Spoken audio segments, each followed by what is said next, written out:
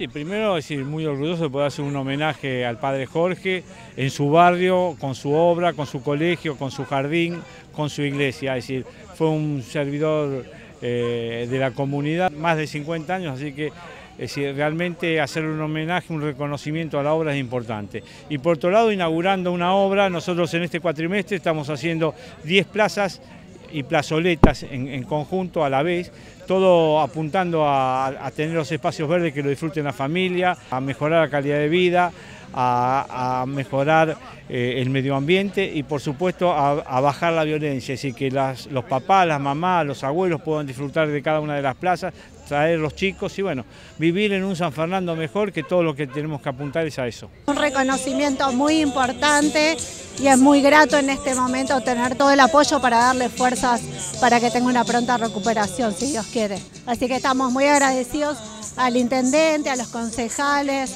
y a todo el municipio porque es un lugar que vamos a disfrutar todos. Era un basural, acá tiraban lavarropa, elásticos de cama, eh, ventanas viejas, basura. De verdad era muy oscura, tapaba la luz y era necesario renovarla. Gracias al intendente ahora tengo la luz. Voy a venir acá a sentarme para que juegue mi nieta en el parque, en los juegos. Voy a venir a tomar mate acá a sentarme. Este es un gran reconocimiento de sus vecinos. Hoy lo habrán visto que estaba, es decir, los alumnos de su colegio, los directivos del colegio y los vecinos, es decir, que durante tanto tiempo lo acompañaron.